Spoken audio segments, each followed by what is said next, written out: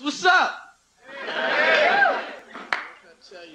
I was driving down the street, saw a prostitute, asked her how much. She said, $300, I'll do anything you want. I said, bitch, paint my house.